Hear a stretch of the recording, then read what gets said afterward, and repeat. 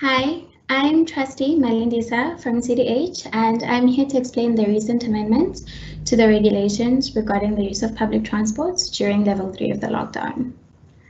Long distance public transport is now permitted to enable people to travel between provinces as is permitted under level three.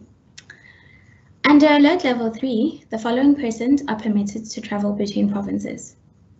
Persons traveling for work, persons moving to a new place of residence, persons caring for an immediate family member, learners and students who have to commute to and from their schools or institutions of higher learning, people attending funerals, people involved in the transportation of mortal remains, those obtaining medical treatment, persons returning to their place of residence from a quarantine or isolation facility, and those traveling for the movement of children.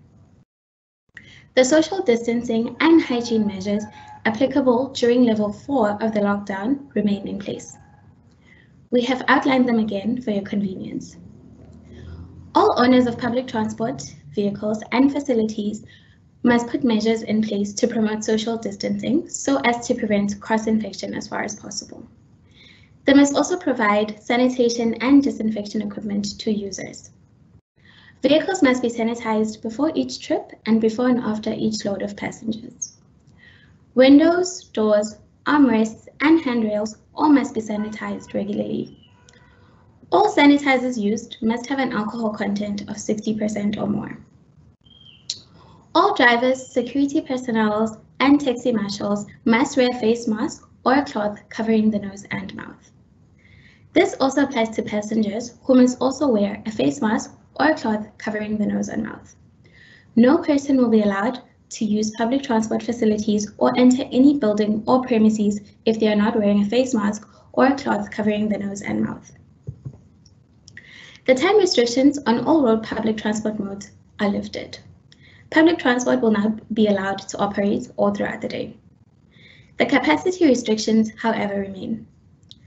The allowable capacities for minibuses, minibuses, and taxis remain at 70% loading capacity. This means that a minibus that has a vehicle passenger capacity of 10 people may only carry a maximum of 7 people plus the driver. A minibus that has a vehicle passenger capacity of 16 people may only carry a maximum of 10 people plus the driver. A minibus, which is a slightly bigger vehicle, which has um, a vehicle passenger capacity of 22 people, may only carry a maximum of 15 people plus a driver. Buses must still adhere to a 50% loading capacity. This is inclusive of all seated and standing passengers.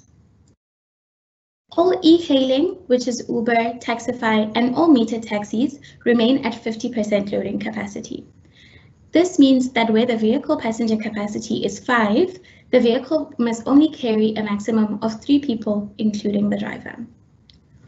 All driving license testing centres, vehicle testing centres, and traffic department will resume their operations on the 1st of June 2020. This is subject to strict application to health norms and standards. No person will be allowed to enter a driving testing center or any traffic department if they are not wearing a face mask or a cloth covering the nose and mouth. Driving schools may also resume services, but need to put hygiene measures in place to prevent cross-infection as far as possible.